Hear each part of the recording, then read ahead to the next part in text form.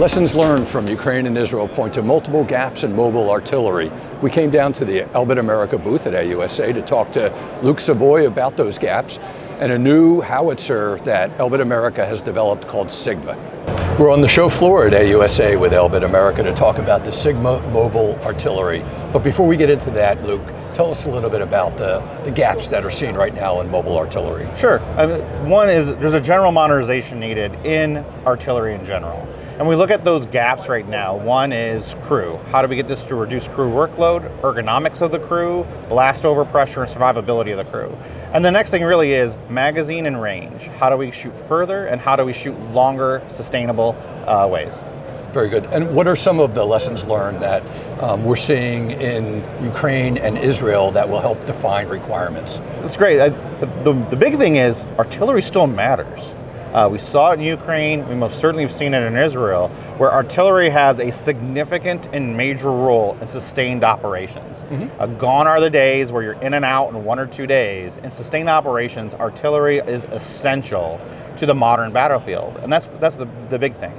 The second thing then is survivability towed systems are no longer survivable. They require a vehicle to tow the system, setup time, the number of people involved. It's just a complex logistical problem in terms of towed systems. So having mobile systems um, that have the ability to kind of go more places and shoot more directions and engage targets is critical lessons learned that we're seeing on the battlefield.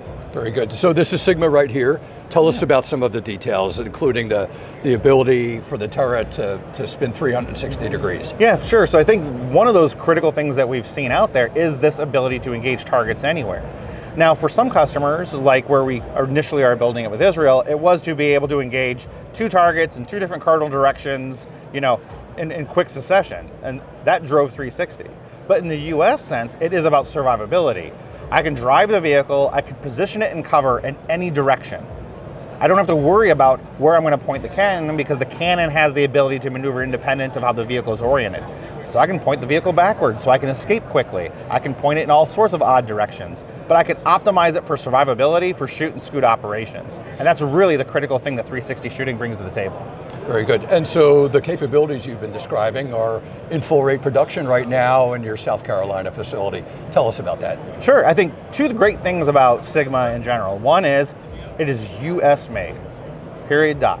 Um, so even though we are doing now 144 systems for the IDF, those are 100% made in the US with the exception of the barrel. Um, we are a barrel OEM and do make barrels, but we made our system compatible with multiple barrels. So US production and using a government furnished you know, Foundries barrel, we're compatible with those. But when it comes to electronics, when it comes to the vehicle, we have a common vehicle uh, with our Oshkosh 10x10 that we have on this. Um, it is a US platform. The other aspect of the Charleston facility is it was a greenfield project. We have proven uniquely that not only do we have a US capability that we build and produce here in the US today in full rate production, but we could actually create a plant like that and empirically have proven our ability to do a greenfield project to do it as well if we wanted to duplicate capacity in addition to what we're doing today. Thank you, Luke, and thank you for watching.